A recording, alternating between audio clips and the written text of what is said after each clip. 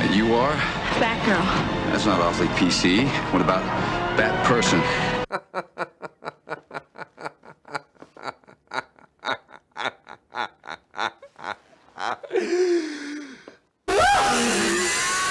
In 1997, the film Batman and Robin didn't go over too well with audiences and critics. However, this film served as the IP for two fantastic roller coasters for 21 years and counting. With the debut of two launch coasters named Flight of Fear in 1996 at Kings Island and Kings Dominion, Premier Rides impressed the industry with a new launch technology. This would grab the attention of Six Flags, who was looking for two new launch coasters of their own. Uh-huh. Two years later, in 1998, two models of Mr. Freeze would open, one at Six Flags Over Texas and the other at Six Flags St. Louis. Batman's greatest nemesis is now yours. Mr. Freeze at Six Flags St. Louis is now open. It'll blast you from 0 to 70 in 4 seconds, then rocket you 23 stories straight up. And when you get to the top, you've got to go back down.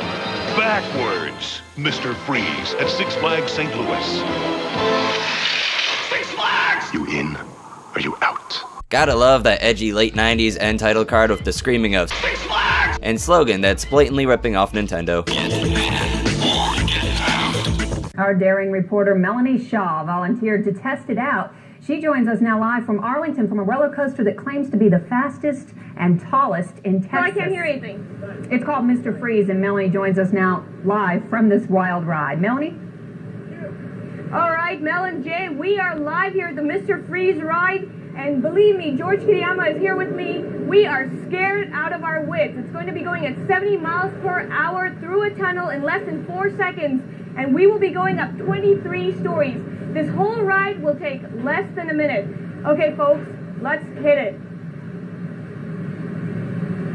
Let's get let's get this ride going. Come on, George. You ready, man? Oh yeah, I'm ready. I'm ready. All right, let's go. Been on it before, but we'll see what happens. We'll see what happens. It's been an unbelievable day here. This will be great. Melanie, I think it's waiting for this to to get going. Wow. Yikes. Both inceptions of Mr. Freeze were originally planned for a 1997 opening to debut alongside the film Batman and Robin, but would be delayed until the 1998 season due to troubles with the LIM launch system. I had to dive deep for a little more information on this, and the rumor is that the metal fins on the side of the cars collided with the LIM launch system, and there were also just months of the ride testing and getting rollbacks. Click the link in the description to this mountain of construction updates. It's massive. LIM stands for Linear Induction Motor Technology, and Premier Rides was the first company to use this technology on their roller coasters. The metal fins on the side of the trains of Mr. Freeze are pushed by the force of a magnetic wave provided by the LIM, and also a fuck ton of electricity. Mr. Freeze is a shuttle loop coaster that is quite an evolutionary step up from the 1977 launching shuttle loop by Schwarzkopf. Instead of a vertical loop, Mr. Freeze sports a large inverted top hat. Instead of being launched by the drop of a weight, Mr. Freeze will launch you with the aforementioned LIM technology. Because Mr. Freeze navigates through twists and turns backwards, it was quite important that the track was designed to be as smooth as possible since riders cannot use visual cues in order to brace themselves. This is a common issue with Vekoma's boomerang models which tend to have more jerky, sudden transitions. The Mr. Freeze coasters would undergo a few changes over time. The riding experience was made more comfortable for riders in 2002 when the hard over-the-shoulder restraints were switched out for lap bars, eliminating any cause for the riders' heads to collide with the harness. Mr. Freeze at Six Flags Over Texas would receive a new paint job in 2007 that changed the track from blue to red. The St. Louis version would remain entirely blue. In 2012, both coasters were rebranded as Mr. Freeze Reverse Blast. Six Flags introduces Mr. Freeze Reverse Blast. Pulse pounding peril has just taken a giant leap backwards. Both parks would accompany the reopening with their own special guest appearance. In St. Louis, an appearance by David Freese of the St. Louis Cardinals. Yeah, growing up in St. Louis, um, you know, Six Flags was a big part of my childhood. Uh, coming, coming up here, you know, summer after summer, you know, had the season pass, you know, every, every year for, for a long time, and um, you know, you know, you know, you know, you know, I love roller coasters, and you know, um, you know, you know, you know, you know, and then you know, Mr. Freeze, obviously a great roller coaster, you know, but now it's going in reverse. You know, my favorite part about it now is, you know, when, when, when you know it's time to go back, and uh, you know, it's pretty cool how how it takes off and how it finishes up.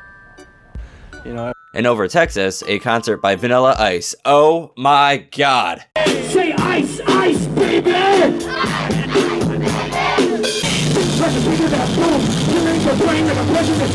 I have been referring to this ride simply as Mr. Freeze and will continue to do so to save myself the headache, or brain freeze rather, from saying Mr. Freeze Reverse Blast so many times.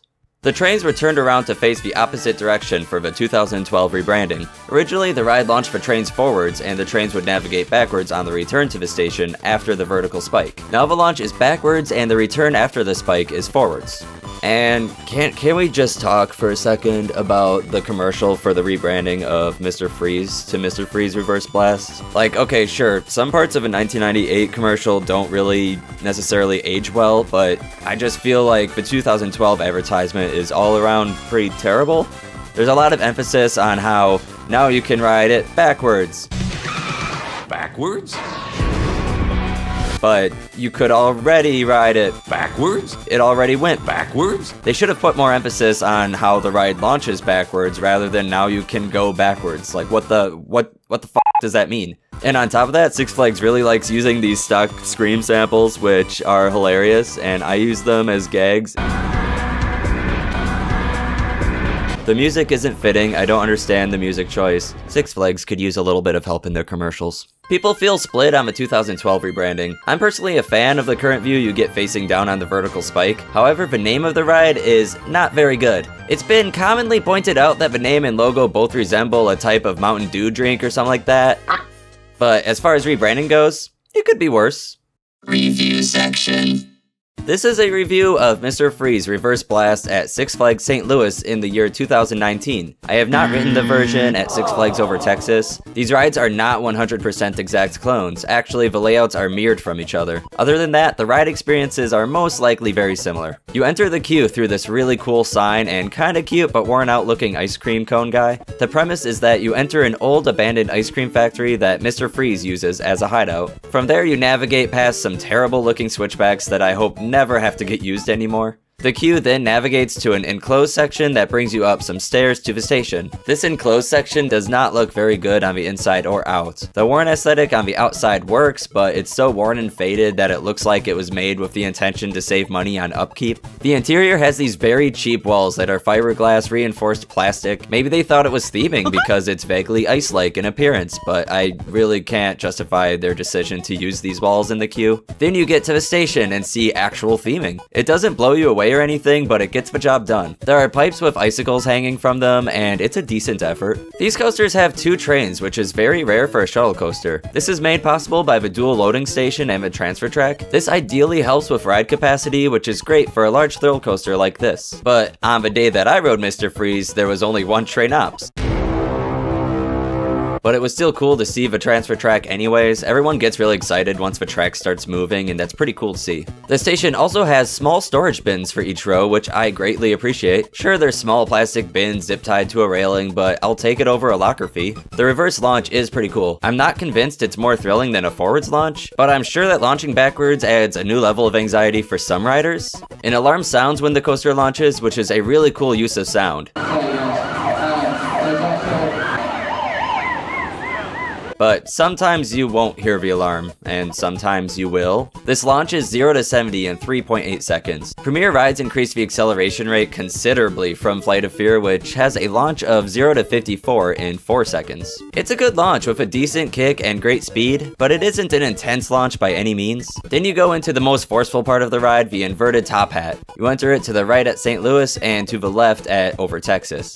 Again, these have a mirrored layout. The bottom of this top hat is fairly sharp and you feel a lot of positive G's here.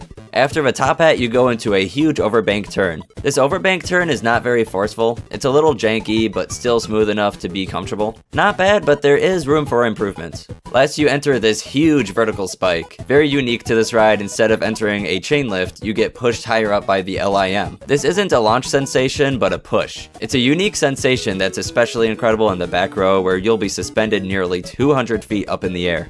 If I could compare it to anything, it's a little comparable to the Intamin Impulse Coaster holding brake, as the vertical spike just kinda drop kicks gravity right in the jaw. Then you descent the vertical spike with some floater airtime, not much, a little bit, and travel the track's course again. But get this! Now you better ride it forward! Closing thoughts. I give Mr. Freeze Reverse Blast a strong 8 out of 10. As much as I love the Schwarzkopf shuttle loop, I have a new favorite shuttle looper in Mr. Freeze. The top hat is a fantastic inversion which provides 4 moments of strong Gs. The vertical spike is a one of a kind with the LIMs, and provides an insane view from the back staring nearly 200 feet down at the ground. There are a few drawbacks, none of which are a big deal. The overbank turn doesn't serve much purpose beyond being a turnaround. The track is getting a tad rough with age. I said that it was smooth, but that's mostly just regarding the track transitions. The actual track itself does feel a little bumpy. Also, the queue theming, it's obviously nowhere near like Batman the Ride queue theming like Six Flags at Great America. This is a great ride though, I think those are all just nitpicky points, and I would say, yeah, it's a great ride and maybe even a little bit underrated.